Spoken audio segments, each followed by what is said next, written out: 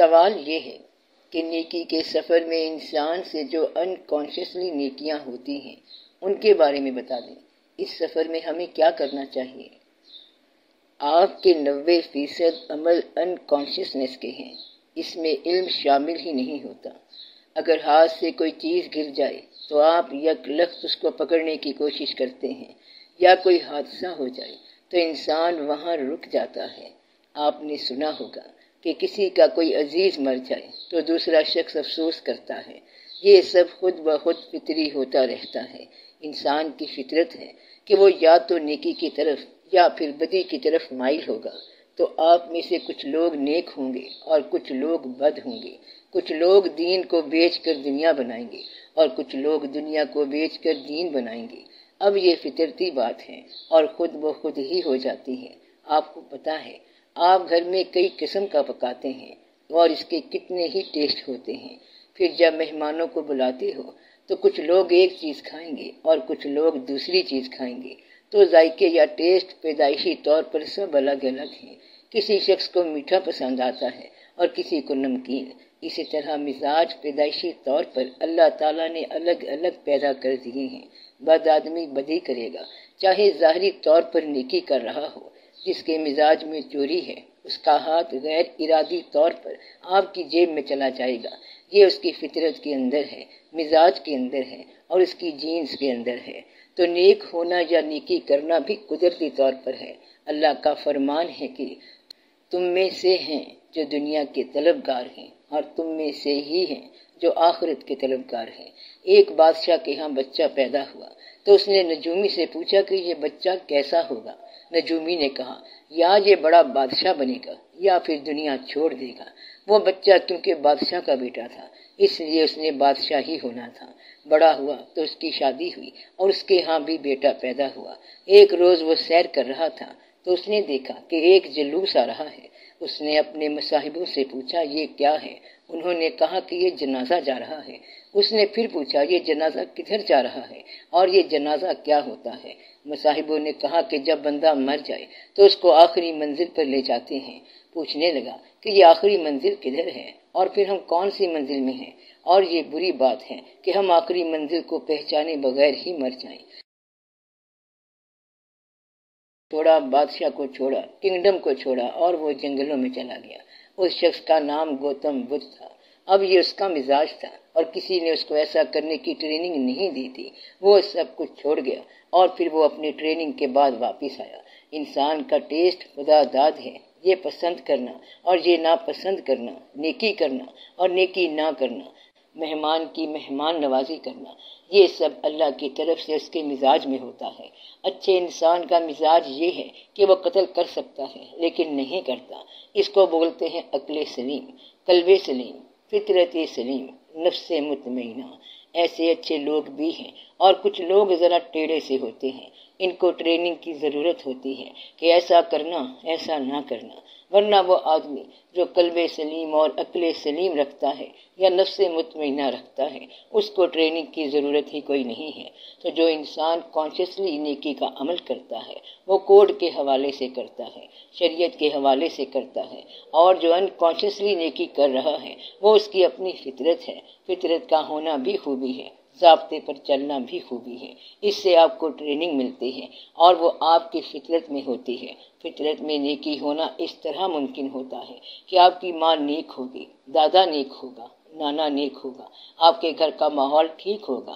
یا پھر بچپن میں سنا ہوگا کہ نیکی یہ ہوتی ہے اور نیک اس طرح کے ہوتے ہیں۔ اس طرح یہ باتیں آپ کی فطرت میں داخل ہو جاتی ہیں۔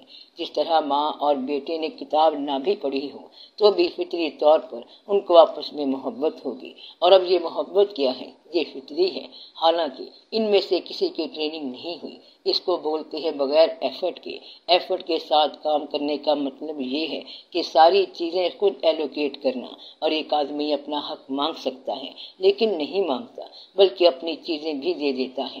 تو یہ خدا داد ہے۔ اسی طرح نیکی بھی خدا داد ہوتی ہے۔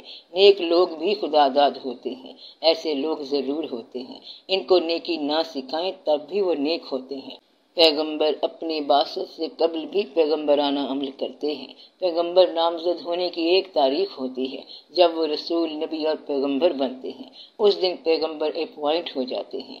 اللہ اس دن سے انہیں اتھارٹی دیتا ہے کہ آج سے آپ پیغمبر ہیں اور اس دن کے بعد وہ جو عمل کرتے ہیں، اس سے پہلے بھی ان کا عمل وہی تھا۔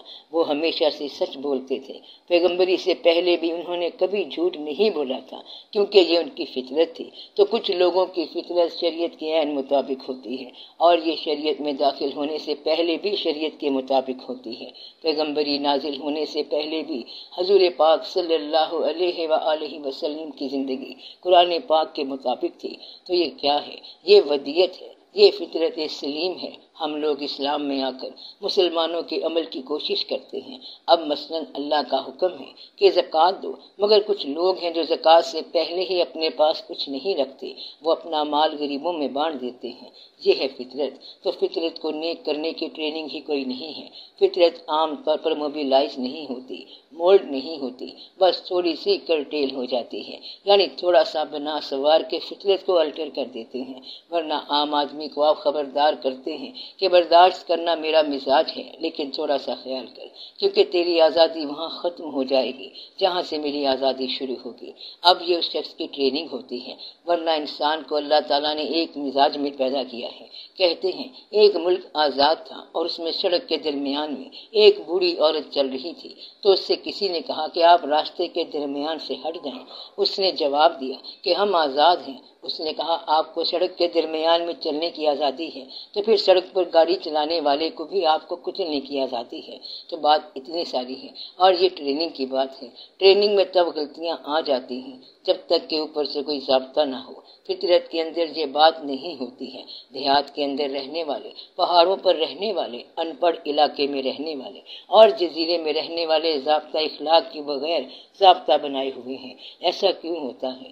یہ ان کی فطرت ہے۔ انسان جو ہے، اگر انسان کے کام آئے تو یہ فطرت ہے۔ انسان انسان کے ضرور کام آئے۔ ایک آدمی دوسرے آدمی کے پاس گیا کہ بھائی ذرا حالات خراب ہیں، پیسے نہیں ہیں۔ دوائی لے دیں اس نے کہا کہ پہلے آپ مجھے تیسرا کلمہ سناؤ۔ اس نے جواب دیا، کلمہ تو یاد نہیں ہے۔ اس نے کہا کہ گیٹ آؤٹ دوائی نہیں ملے گی۔ اب یہ آپ کو ٹریننگ دی گئی ہے کہ آپ نے کسی ایسے شخص کی مدد نہیں کرنی جب تک کہ وہ آپ کے دین پر نہ آ جائے۔ اور اگر ایک آدمی فطری طور پر نیک ہے تو وہ کہتا ہے کہ کلمہ آپ گھر جا کر پڑھ لینا، لیکن اب دوائی تو لے جاؤ۔ یہ نوٹ کرنا چاہیے کہ فطرت کیسی ہے اور کیا فطرت کا آپ کے ساتھ تعاون ہے۔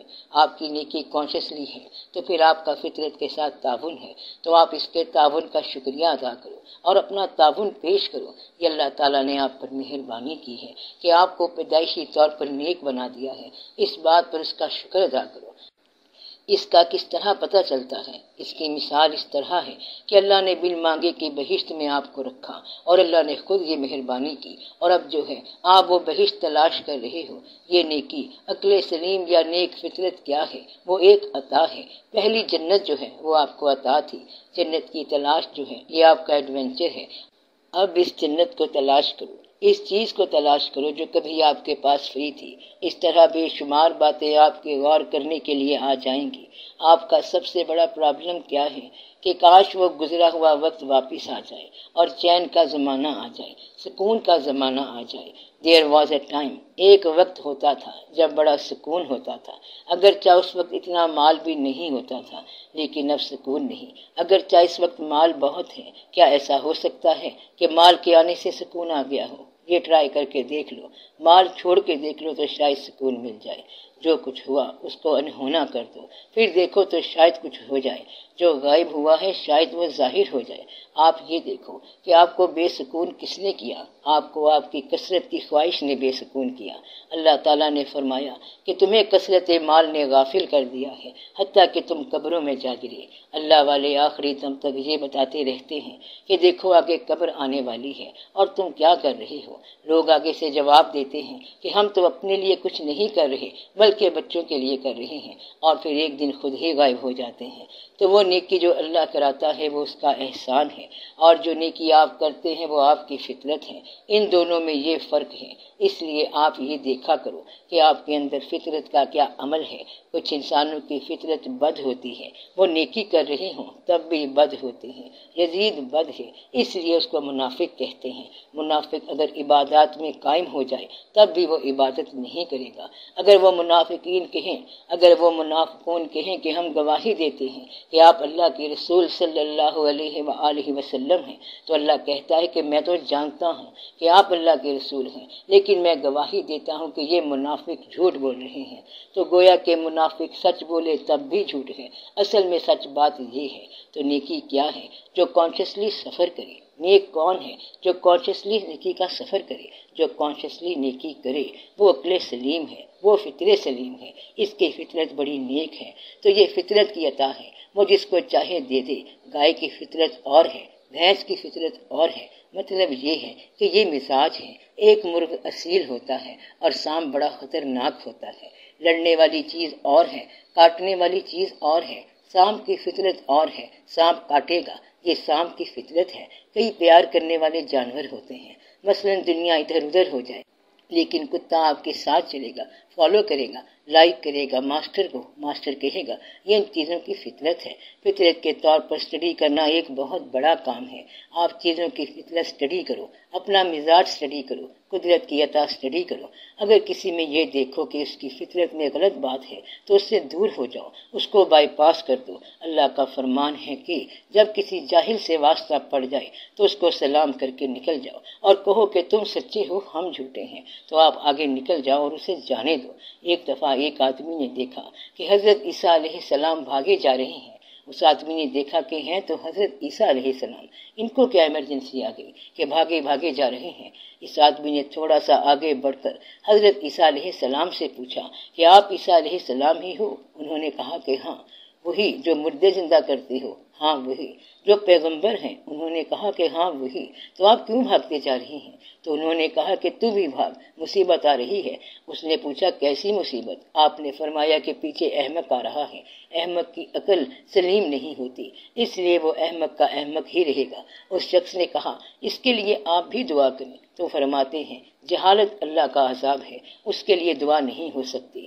فطرت سلیم ہو تو پھر دعا کرتے ہیں کہ یا اللہ، یہ نیک فطرت کا بندہ ہے، یہ کہاں گم گمراہی میں جا رہا ہے، اسے ٹھیک فرما دے۔ لیکن حماقت اور جہالت جو ہے، یہ بد فطرت ہے۔ تو جہاں کہیں بد فطرت آدمی مل جائے، آپ اسے بائی پاس کر جاؤ۔ اس کے پاس سے گزر جاؤ۔ یہ نہ ہو کہ آپ کہیں کہ ہم تیری اصلاح کر کے چھوڑیں گے۔ ایسے انسان کو مت تبلیغ کرو۔ جو احمق اور جاہل ہو، اس کو سلام بولو۔ کیا بولو؟ اس کو سلام کرو۔ بد فطرت کون ہوتا ہے؟ جس کو بندے پسند نہ آئے اور جس کو بندوں کی خوشی پسند نہ ہو۔ احمد سے کسی نے پوچھا تم رو کیوں رہے ہو؟ تو وہ کہتا ہے، تم ہنس کیوں رہے ہو؟ کہتا ہے، ہم اس لیے ہنس رہے ہیں کہ ہمیں یہ ماحول پسند ہے۔ تو احمد کہتا ہے کہ میں اس لیے رو رہا ہوں کہ مجھے تمہاری یہ ہنسی پسند نہیں آ رہی۔ تو بات یہ ہے کہ وہ اس لیے رو رہا ہے کہ تم ہنس کیوں رہے ہو؟ یہ اس کی فطرت ہے کہ لوگوں کو ہنستا نہیں دیکھ سکتا۔ تو جو آدمی لوگوں کو ناپسند کرے، جو آدمی لوگوں کی صرف خامیاں ہی دیکھے، جو آدمی اپنے آپ کو ہائی مین اور ٹال مین یعنی اونچا اور بلند سمجھے، وہ احمد ہوتا ہے۔ جو بے وقوف خود کو اونچا ثابت کرنے والا ہو کہ میں ہی افلاطون وقت ہوں، تو وہ کون ہے؟ جاہل ہے۔ جب کوئی آدمی اپنے آپ کو فاقیت والا سمجھے اور اپنے آپ کو سپر انسان سمجھے، بلند ترین انسان سمجھے، وہ آدمی جاہل ہے اور آپ اس کو بائی پاس کر دو۔ یہ احمق ہے، جو خوش فہمی میں مبتلا ہے اور اپنے آپ کو سپیریئر سمجھ رہا ہے۔